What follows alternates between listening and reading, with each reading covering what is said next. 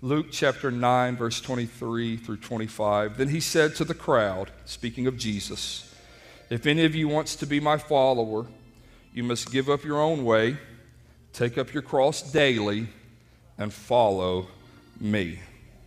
I realized when the worship team was just singing that song that maybe the Lord is orchestrating our steps today. Amen.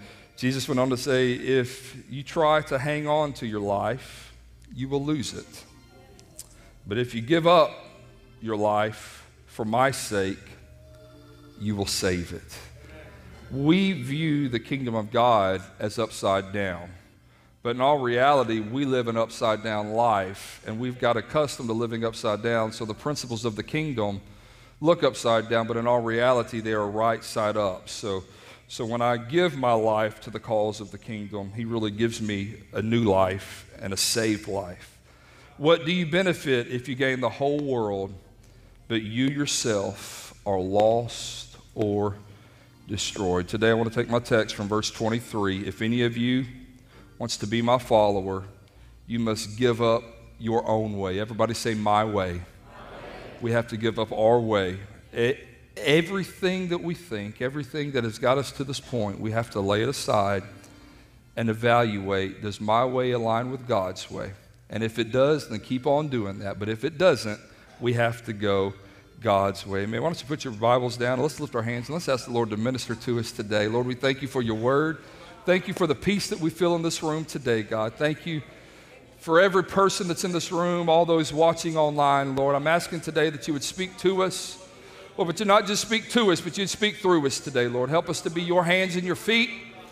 Lord, and also help us to not just hear your word, but do your word, Lord. We don't want to be guilty of being recipients, Lord, without taking action. Lord, today we remind ourselves that faith without works is dead, Lord, and we put our faith in you, but we also put our works in you. We also put our life in you, Lord, and we thank you for what you're going to do. Everybody say in Jesus' name, put your hands together and let's thank the Lord as you're seated this morning. Amen. Uh, it's my job to preach what the Bible says. That means I can't speak for other churches and other preachers and other pastors, but I can speak for Conroe Church that we are a Bible believing church. We are a church, and you've heard me say this a lot the past several months. We are a church dedicated to living life the Bible way. What that means that we are individually we are individuals who have made the decision that we are going to live life the Bible way. And when we come together as a body of believers, we are automatically living the Bible way as a church because we have made that individual decision. In other words, we don't just read the Bible and agree with the truth therein. We live in submission and obedience to God's word. Can I get an amen? We put action to our understanding of what the Bible says. Because faith without works is that I'm ringing a little bit up here, Brother Soundman. If you can maybe turn me down just a little bit. Amen. We put action to our understanding. There is no gap. In other words, there, there must not be a gap between what we profess to believe and how we live. Can I get an amen? If we say one thing as believers and do another, we are hypocrites. We are double minded, and Scripture tells us that a double minded man is unstable in all of his or her ways. So, the only possible way for you and I to close the gap between our way of life and God's plan for our life is to follow the instructions of Jesus in Luke chapter 9, where he says, Give up your own way, take up your cross not sometimes. Take up your cross daily and follow after me. I'm here to report to you. If you wanted to hear my testimony today, here is my testimony. I have never regretted dying to my flesh, dying and following Jesus. It's the best decision that I have ever made. So, as your pastor, it's not only my responsibility to preach what the Bible says to the seen world, it's also my responsibility to preach to the unseen world. We must push against the spirits of wickedness in this present age. That's why recently I've been preaching uh, more boldly than I've ever preached before, not because I'm mad, not because I'm angry, but because I'm preaching to the seen world. I'm preaching to needs that I see and needs that I feel in our local community. But I'm also pushing back against the spirits of darkness in this present age and in this region that are on assignment from hell to, to cause a chaos in your life and confusion in your thought life. So, this is why I've been preaching bold. But I'm not just preaching to you, I'm preaching to the spirits that have attacked you. I'm preaching to confusion. I'm preaching to anxiety. I'm preaching to the spirits that desire to stir up evil from their unseen places of temporary authority that the Lord has given them on the earth. So let me remind you, as I did back in, uh, I believe it was June 2nd, when I preached a message entitled Destroying the High Places. Let me remind you that there are no new demons. While we see new schemes and new methodology and new ways of sinning, uh, this is the same battle that began when God kicked Lucifer out of heaven. There are no new demons, there was no new devil, there was no new sin. Sin is sin, and sin will always be sin. Therefore, as believers, we love sinners, but we hate sin. We love God, but we hate the sin in our life. Therefore, we live a life of repentance. We turn from our wicked ways and we follow after the ways of Jesus. Let me remind you today of the ancient writings of the Apostle Paul found in Ephesians chapter 6. For we are not fighting against flesh and blood enemies, no, but against evil rulers and authorities uh, of the unseen world, against the mighty powers uh, in this dark world, against evil spirits uh, in heavenly places. In other words, places that God designed for righteousness, evil has infiltrated. And so we are not, as a church and as believers, uh, we are not at war with people, but we are fighting a righteous war on behalf of a holy God. And let me remind you that we serve a holy God, and no man shall see the Lord if we don't live a life uh, of holiness. Holiness is not a bad word, holiness is not restrictive. Holiness is my liberation. Holiness is living the Jesus way. Holiness is living the Bible way. And when I lay my way down and pick up God's way, I get more freedom and peace than I have ever had in all of my days. So today I stand before you again just to promote righteousness and wage war against unrighteousness. And there's a couple things that I want to tell you before that I'm very uncomfortable today. What you might not know is more times than not, I'm very nervous and uncomfortable when I stand before you, but I've just worked on a halfway decent game face.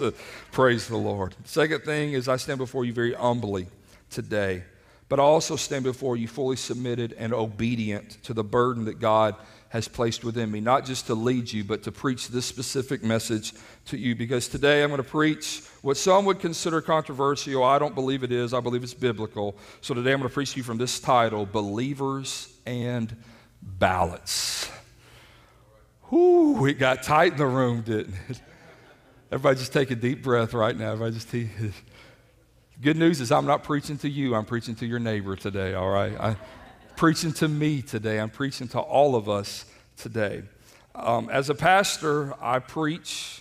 I preach to needs that I know, but I also preach to the time and the season. In other words, if you if you stay awake for 25% of our sermons, in January, you know that we're preaching about a fresh start. We're preaching about a new day and new habits and new consecrations and new commitments. And if you stay awake long enough to get to February, you know that we're going to talk about how great is God's love for us. And we're going to talk about marriage and we're going to talk about relationship and we're going to talk about the bond that we have between humanity and heaven through the blood of Jesus Christ. If you hang around and you get to April and May, you're going to hear us talk a lot about don't backslide during sermon, uh, uh, summer. Don't backslide when you're on vacation. Live the same way on vacation that you do during the normal part of the year. And every four years here in America, we enter into a wretched, nasty, divisive season we call election season.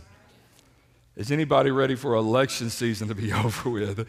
Can you lift a hand or two? Maybe can you grow a third hand at this point and say, I'm, I'm tired of hearing about this. And like you, I am tired of hearing about this, but if the church doesn't talk about righteousness, then there is a void in culture. And wherever there is a void of righteousness, carnality and evil steps in. Can I get amen? Whenever you quit living the ways of Jesus, there is a void in your life. Uh, there is time in your schedule, and something fills the block of time. Something fills uh, the headspace. Something fills the devotion time that was once filled with the ways of Jesus. I mentioned to you a few minutes ago that I'm so thankful that we are a diverse church. We are Americans. We, we, are, we, we are living in the land of the free and the home of the brave. There, there are people yet in this room who are not yet Americans, but they are on the pathway to citizenship, and I celebrate that, and I'm grateful for that because America is a land of immigrants. Uh, we are here today because people immigrated to this land. But in this room today, I see African Americans, I see Caribbean Americans, Haitian and Jamaican. I love the diversity that we have right here in Conroe Church. There are Latino Americans, or let me say like this there are some feisty Latina mamas in the room today. Gloria Dios. Can I get a witness? amen. Now, now, there's all different types of Latinos and Latinas. And we can't talk about that because sometimes we might have a subculture war within the culture war of, of, of Latinos. And we do that in good spirit and in good fun. There's Asians American, there are, there are Asian Americans who call Conroe Church home. I'm so, so very grateful. There are Native Americans. You see, we come from the East Coast. We come from the West Coast, and there's a few of you who have never left the Gulf Coast.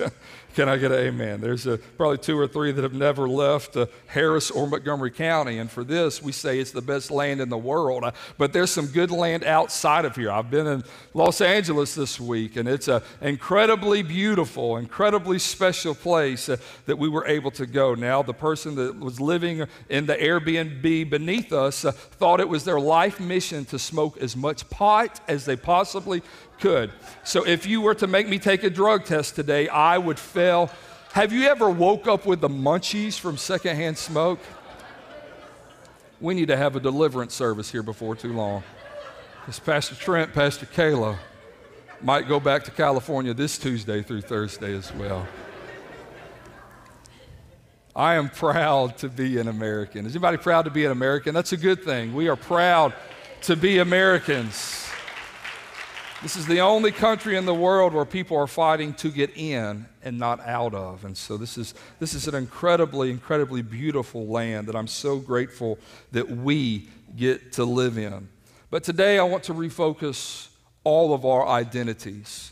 I want to speak right not only to the culture war, but I want to speak to the spirits of culture that are even vying for your attention over these next, these next four to five weeks, or actually four weeks from tomorrow or, or this Tuesday is election day.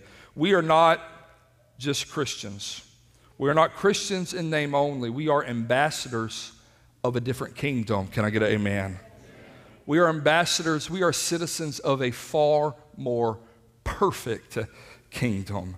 Yes, I understand that the founders of this union um, desired to form a more perfect union, and it is more perfect than most other places anywhere on the world. However, we are members of even a far more perfect union than these United States. We are ambassadors and citizens uh, of the kingdom of God. And for this, I am the most grateful for that the creator of the universe has called me and you, his sons and daughters. And how, through the process of adoption, through the blood blood of Jesus Christ. We are sons and daughters, and we now live in, in, in an eternal kingdom that will never pass away. And I'm grateful that we are a part of that kingdom. For this flesh that we live in is temporary, but this soul that inhabits this flesh is eternal. And we will live forever with Jesus if we never get confused about the fact that we are ambassadors of his kingdom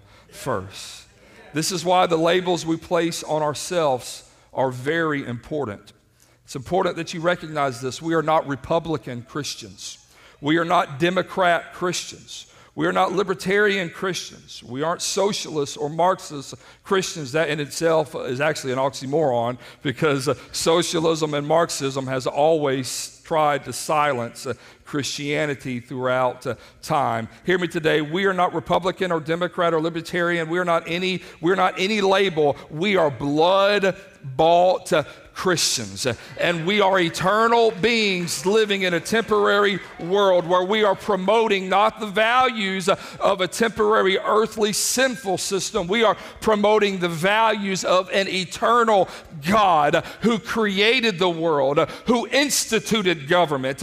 Government began with God and it will end with God at the, at the battle of Armageddon. You see, today, when we made the decision to follow Jesus, we decided to give up our own way of life and follow after Jesus and take up our cross and follow after his more perfect way.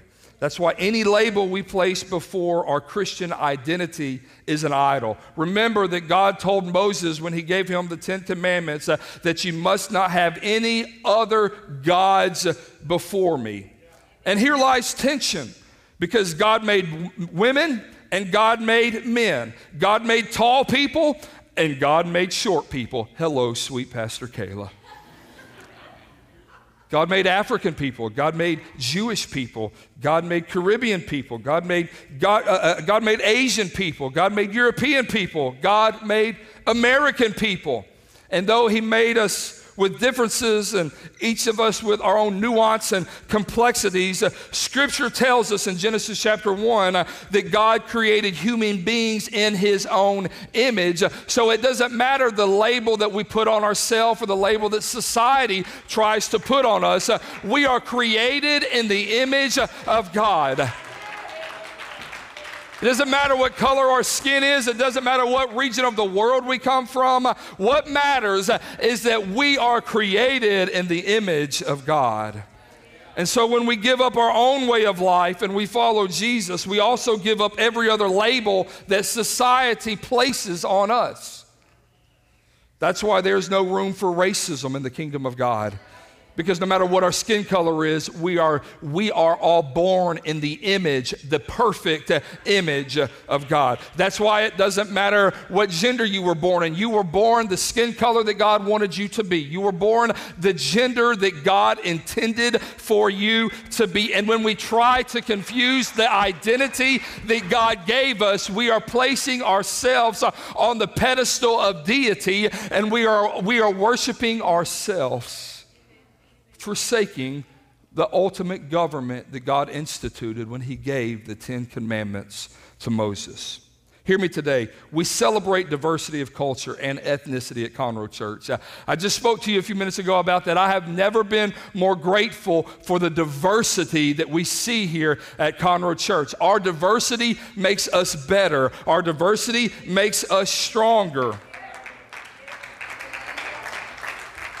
However, we do not buy into the ideology of dividing people upon race, skin color, and gender. The last time I checked, we are all children of God. We have all, when we receive the gift of the Holy Spirit, we all have the royal blood of Jesus flowing through our veins. Hear me today racism is sin, and it will always be sin. There will never be a day when racism is okay. We stand against injustice to any group of people based upon their skin color or any other way that God created them. If Christians can be divided, spirits of evil advance. And this is why I preach regularly to you against racism. Racism is sin. Racism divides. It divides people outside the church, uh, and that evil spirit tries to divide people inside the church. Uh, and we are not going to give the enemy an inch here at Conroe Church. Uh, we are grateful that we are different. We are grateful that when I look across the sanctuary, I see different colors of skin and different textures of hair and different styles of food and different styles of clothing. I love the diversity that we see here. But if we can get distracted and divided, Satan gains a stronger foothold. Hear me today, we fight for each other at Conroe Church. But not only do we fight for each other, the reason why we fight for each other is because we stand for righteousness. We, we do not serve an American God, we serve the eternal, creative God of the universe. Therefore, we do not view humanity as the systems and the governments of this world desire us to view humanity. We have a heavenly perspective of the things and the people that God created. That's why we view ourselves as ambassadors of the kingdom of God. Yes, I am American. Yes, there's nowhere else I would rather live. If many of you have traveled all over the world, and the world is an incredibly beautiful place because God created it. Uh, but there are much more beautiful places than America. But there is no more free place to live, uh, no more place like America that we are able to live in the liberty that God designed humanity to live in. That's why it is our mission as believers, as ambassadors of a, of a heavenly kingdom. It is our mission to invade politics, to invade entertainment, to invade finance uh, with the principles not of this world, but the principles uh, of the King of Kings uh, and the kingdom uh, that we represent. Uh, we represent Jesus. We represent the King of Kings and the Lord of Lords. We represent the God whose government shall see no end. So, why are you talking to us today, Pastor, about believers and ballots? Because as ambassadors of the kingdom of God, we are to represent our King's values in every area of our life. Remember, because our life is no longer our life, we laid our life down and we picked up our cross and followed Jesus. Matthew chapter 16 Now I say to you that you are Peter which means rock. And upon this rock, I will build my church. And the powers, or the King James Version says, the gates of Hades or hell will not conquer the church. Uh, Jesus was saying this, Peter, I have given you authority to live and operate in a manner that Satan and all of his demons cannot uh, overcome. They can try to attack you, and the only way they overcome you is if you flee from the principles uh, of the kingdom that I'm trying to birth inside of you. And from this authority that Jesus gave Peter, the church uh, was built. That's why in the book of Acts, chapter 2, Peter preached and he said, Men and brethren, the, uh, uh, uh, these people are not drunken as you suppose, uh, for it's only the third hour of the day. It's early in the morning. No, these people are filled with new wine. These, uh, these people are filled with everlasting water. There is an eternal kingdom being built into these people. And Conroe Church in 2024 is a continuation of that same power and authority that Jesus spoke and prophesied that Peter would receive. And we have that same power and authority to cast out demons, to pray the prayer of faith and heal the sick. And we have the power to lay hands on people and they receive the gift of the Holy Spirit. Why? Not because we are Americans, not because we have the freedom to worship in this nation, because there was a kingdom birthed in me uh, that this nation didn't give me and this nation cannot take away.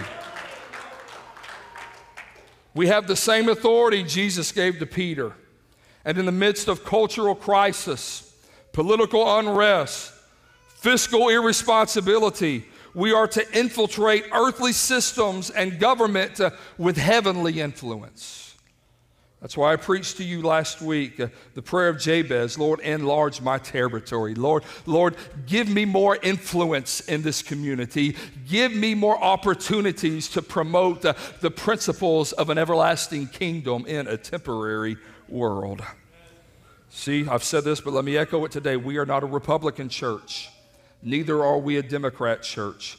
Political parties do not dictate what we do and how we vote. And let me say, political parties uh, do not dictate how we preach uh, and what we preach. Uh, we preach the Word of God if it's legal or if it's illegal, if we're tax exempt or if we aren't ta- tax exempt.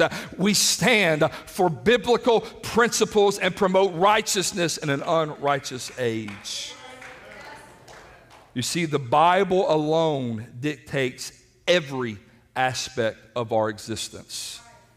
If it doesn't, we are double minded, trying to live in two kingdoms. And a double minded man is unstable in all of his way. Let me say this today. This is not a political message, this is a righteous message. And I'm just young enough as a millennial to know that clickbait titles get your attention. Both political parties are imperfect, and every candidate has fallen short of the glory of God. I don't care what party they belong to. There will never be a perfect candidate. That's why increasingly more and more in the day and age in which we live, we not vote for candidates, we vote for principles. With this being said, it is more important to vote as kingdom ambassadors in an earthly government. See, when Christians operate in our God given authority, hell's agenda does not advance. Hell seeks to kill, steal, and destroy. But Jesus said, I have come that you may have life, and that you may have life more abundantly. That's why the most blessed countries in the world are countries that follow as closely as possible, even in their brokenness and in their sin, the ways and the principles of the Bible. Allow me to explain this plainly if I haven't been plain enough today. Too many believers are more worried about their preferred animal, a donkey or an elephant, all while the real battle is between the serpent and the Lamb. I haven't come to preach to one group of people, I've come to preach to everybody today. Whose side are you on? The serpent or the lamb? That's why we are what we tolerate.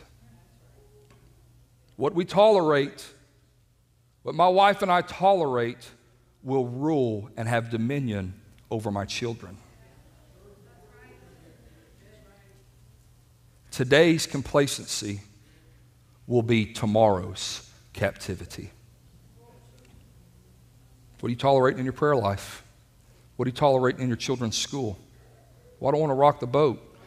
Do you forget that Jesus walked into the temple and didn't say, Could y'all quit selling things? Jesus threw a fit. He kicked over tables, he destroyed things, and said, My house will not be conducted like this. What that tells me is that as, as ambassadors of God's kingdom, the kingdom that God has instituted here on this earth, uh, that is like sneaky undercover agents in the government systems of man, that we are not to tolerate some things in our life and in our family and in our church uh, because we are the people of God and we live for God and we die for God. We adopt His ideology, not man's ideology.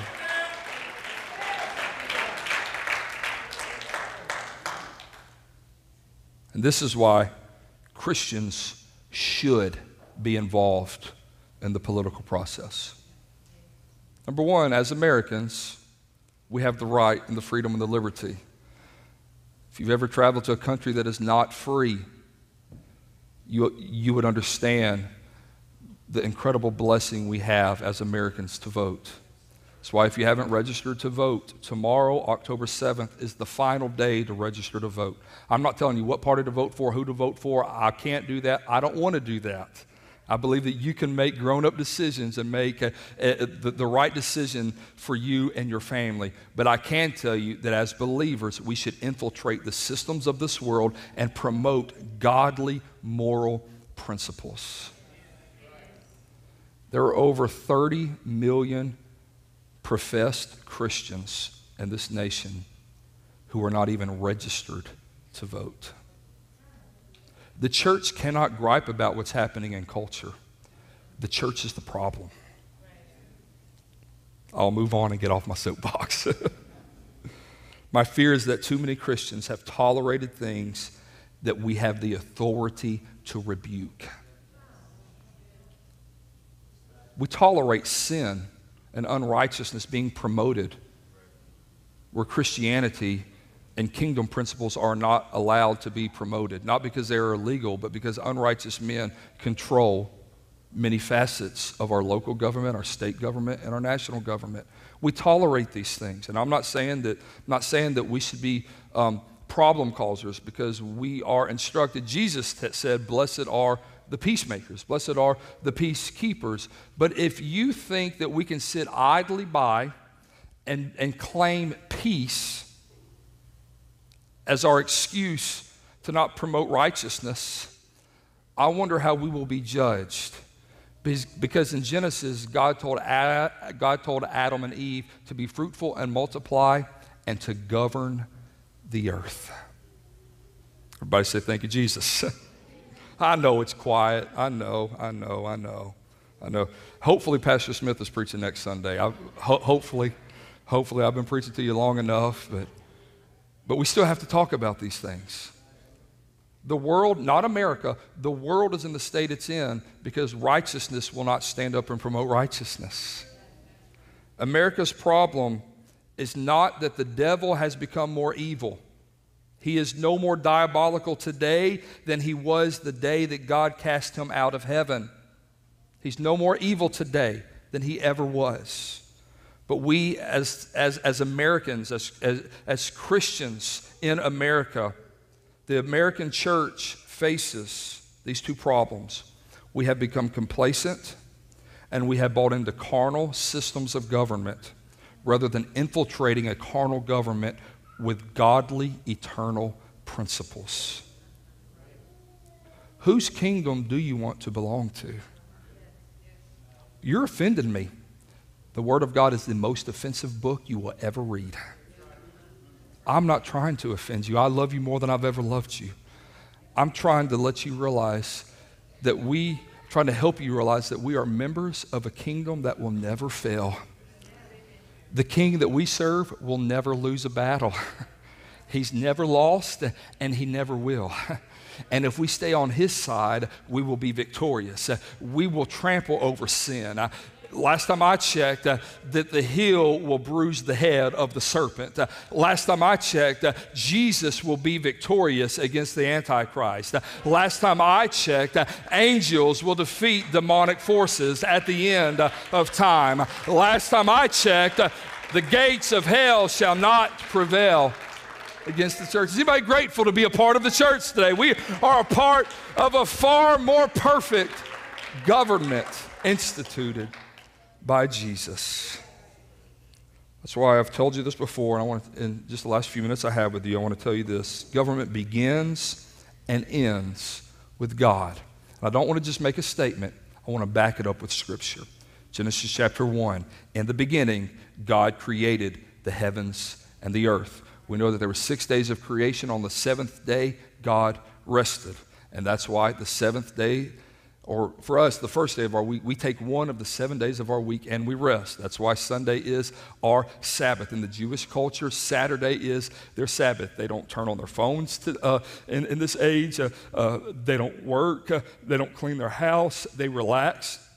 They spend time with friends and family and they worship. And we as we as believers, as Christians, uh, we must get back to the principle of Sabbath. Uh, don't just come to church on Sunday and then run the rest of the day ragged doing errands. I understand that our time is limited, but we must make space uh, to spend with not only our brothers and sisters in Christ, but to spend with our families, resting and relaxing, kicking the soccer ball in the backyard, sir throwing the baseball in the backyard with our family enjoying the blessings that God has given us. Because why? On the seventh day, God rested. But shortly after creation, God blessed Adam and Eve and said, Be fruitful, multiply, fill the earth, and govern the earth. Government began with God, and according to the Apostle Paul in 1 Corinthians, government will end with God. And after that, Paul said, the end will come when he will turn the kingdom of God, or, or, he, or, he, will turn the kingdom over to God the Father, having destroyed every ruler, authority, and power. For Christ must reign until he humbles all his enemies beneath his feet. And the last enemy to be destroyed will be death. Mankind was never intended to die, but when sin crept in, death was our sentence. There's now pain and childbirth. Man must now work to provide. We read about this. Uh, we, we read about this in the book of Genesis. But there's coming a day for those of us who have rooted our life and applied the blood of Jesus over our life and our families uh, that we are citizens of a different kingdom uh, and we will now long and we will no longer be held captive uh, by the systems uh, of this world that sin has produced. Uh, aren't you thankful that we're going to heaven where sin is not welcome. The writer of Psalms, chapter 22, the whole earth will acknowledge the Lord and return to him. Not Christians, the whole earth will acknowledge. That means every faith. That means every thought process. Uh, that means every every gender, if you will, even though there's only two, every person who identifies as any gender or any type of lifestyle, everyone who walks uh, the earth, every nation will acknowledge the Lord and we will return to him. All the families of the nations will bow down before him, for royal power belongs to the Lord, and he rules all the nations. He sets up kings, he tears down kingdoms. Why does God allow ba- bad things to happen? I don't understand this. I preached you a, few, a, message a few months ago about the secrets belonging to God. There's some things that we will never understand, but what we do know is the more I trust Him, the less I desire, I, uh, uh, the less I desire to understand, and the more I just want to have communion with God. You recognize the understanding and wisdom and knowledge uh, is the is the thing that got humanity in the shape it's in. When did sin enter into the garden? When Adam and Eve, when Adam and Eve Eve partook uh, of the tree of what? Uh, the knowledge of good and evil. Knowledge will get you in trouble if you let it. That's just a side point. Everybody say, Thank you, Jesus. Thank you, Jesus. Amen. Stand with me today. Stand with me today. We'll talk to you now about the role of the church in culture. Hallelujah. Why don't you just lift your hands and just thank the Lord that you're a part of the church? We're part of a far more perfect, far more perfect kingdom. Hallelujah. Come on, just say that's the highest praise. Hallelujah. Come on, lift your praises to Jesus. Hallelujah. Hallelujah. Thank you for your kingdom, Lord. Perhaps you're familiar with Paul Revere's famous horseback ride through Lexington, Massachusetts, yelling, The British are coming. What you may not know is the final destination of Revere's ride was to the house of Pastor Jonas Clark. Why pastor's house? Why? Why, if the British are coming, why are we rallying troops but also going to a pastor's house? Well, because Pastor Jonas Clark was housing two men who you might have heard of Samuel Adams and John Hancock, two signers of the Declaration of Independence. Let me also say that of the 13 colonies, I believe 11, uh, uh 11 or 12 out of 13 of them to run for, to, uh, uh, to apply to be governor or to run for governor of those colonies, you had to have a statement of faith and a letter of your pastor's approval. Don't tell me that there's no place in politics for people of righteousness. This country was founded upon creating space for people like you and I to worship freely. The news will not tell you that. Modern education will not tell you that. But the fact that we are here today is because men and women died so that we can worship in freedom.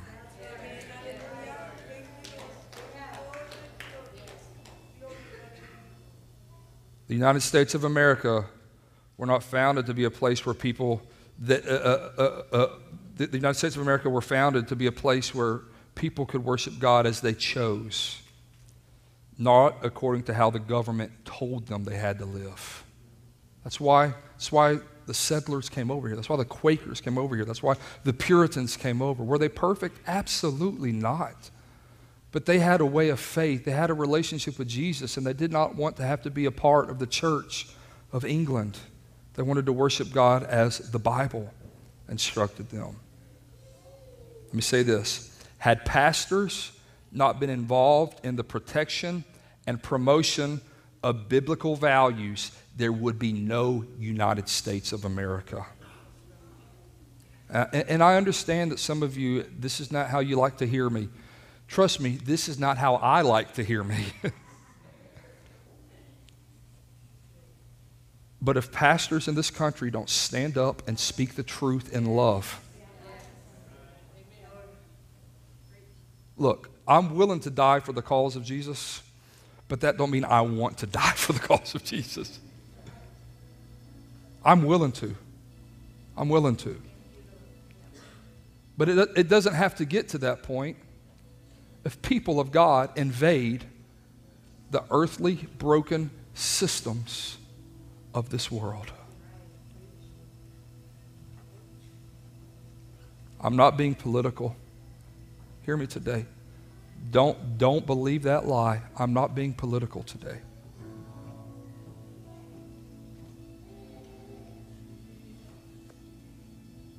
America needs pastors who will stand up and tell you to vote against tyranny. And I'm not placing a badge on me today. Hear me today because I've got a lot of faults, got a lot of shortcomings. I'm far from perfect. But if there's anything that I am doing right, and I hope I always do right, is I want to be a pastor that leads you the Bible way. Pastors in this nation need to tell you to vote against religious persecution and for the nation of Israel. That's not political, that's Bible. Pastors need to stand up in this nation and tell you to vote against abortion.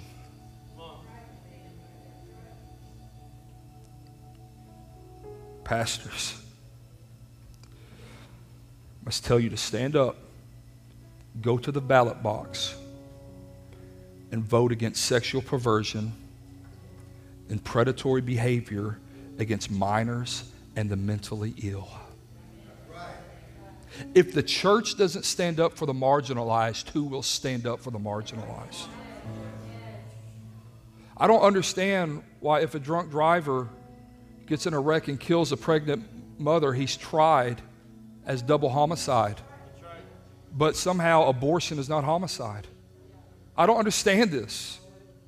I don't understand how both political parties in this country have gone soft on same sex marriage. Both political parties are soft on abortion. These are not government problems, these are moral problems.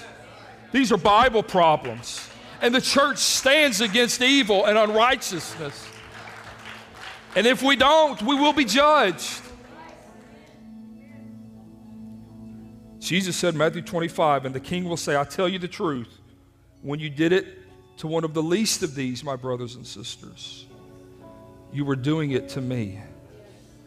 You have to be 21 to buy alcohol, you have to be 18 to buy cigarettes, but you can be 14 and your school assign you gender affirming care?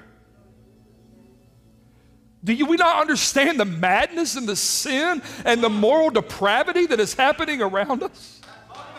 And we have to stand up as the people of God not as Republicans, not as Democrats, as blood bought believers.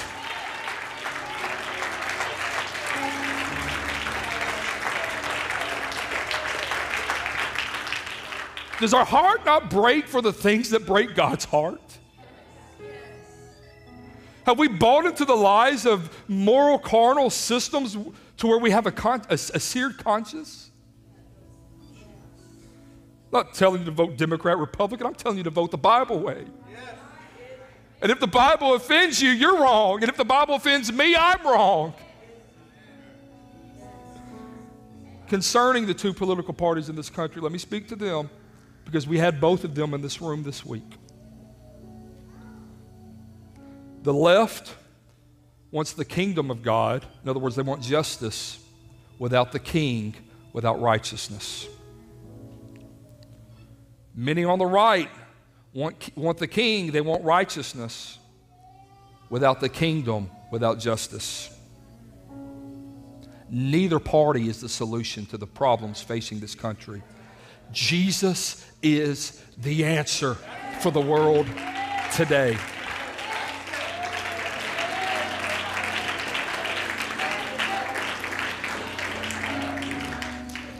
And it's your job and it's my job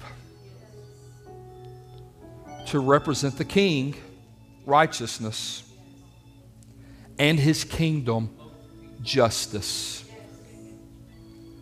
Not just in this room, not just on your job, not just at the Thanksgiving table, but the first Tuesday in November at the ballot box. It's our responsibility.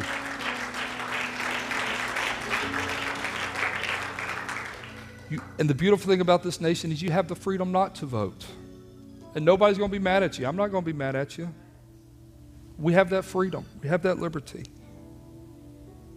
But do you want to live only according to the freedom of a man made government, or do you want to live according to the righteous rules of the God who sets up kingdoms, tears down kingdoms? I know you've been standing. Why don't you gather with me around the front? I would love for everyone to gather with me today. I believe that righteousness and justice are about to flow through this altar today. Hallelujah. Can you just say that with me today? Hallelujah. Hallelujah.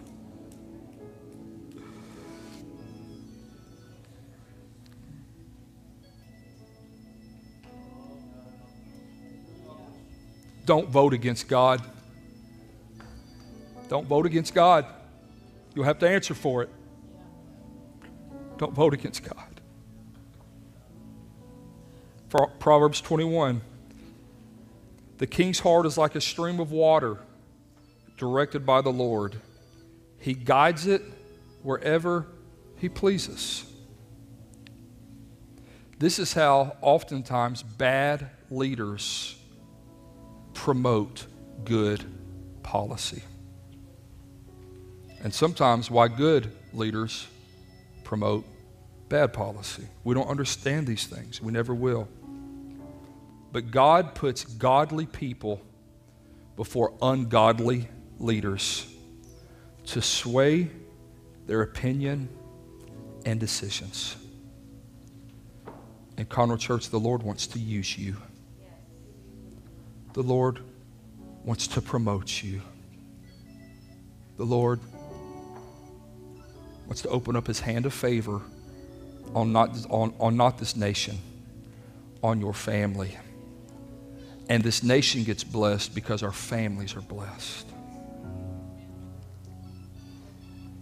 Hear me today. We must not view ourselves as Democrats and Republicans or independents or whatever other parties there are. We do not view ourselves as that. We see ourselves as Christians voting the Bible way.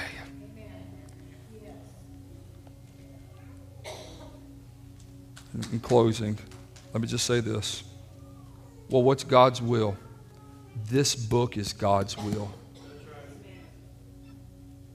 Every, every uh, ballot casted,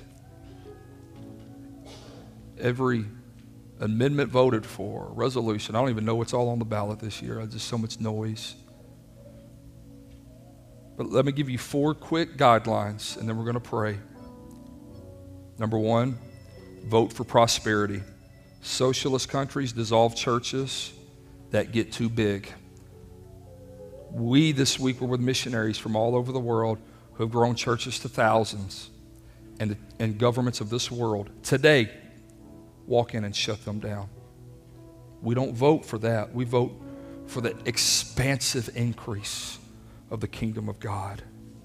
That's why Jesus said, Thy kingdom come. Pray this, Thy kingdom come, Thy will be done. Number two, the second guideline. I should have had this on a screen, but I was less slick today and more burdened. Number two, vote for life. The spiritual condition of man is at the root of the abortion issue.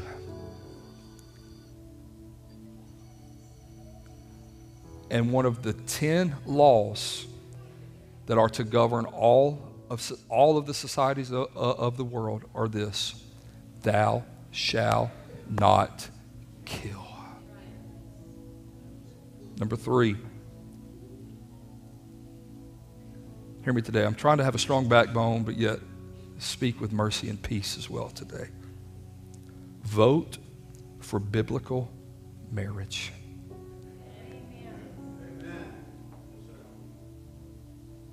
There's no other way to say this. Same sex marriage is offensive and repulsive to God.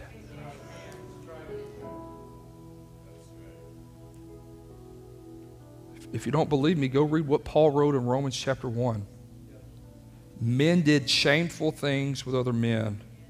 And as a result of this sin, not this action, this sin, they suffered within themselves the penalty that they deserved. Hear me today. We are full of compassion. Anyone at any time is welcome in this church. We turn no one away because we believe the power and blood of Jesus is that strong. We don't exist for us four and no more. We exist for whosoever will take up their cross, turn from their sinful ways,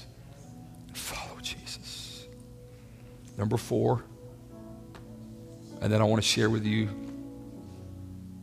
a prophecy that was given to me this week. Number four, vote for Israel. Consider what the Jewish people have given the world. They have given us this book. The prophets, major and minor, all Jewish. And they gave us our Messiah, Yeshua, Jesus. Born of a virgin, Mary, who was a Jew. So scripture instructs us pray for the peace of Jerusalem.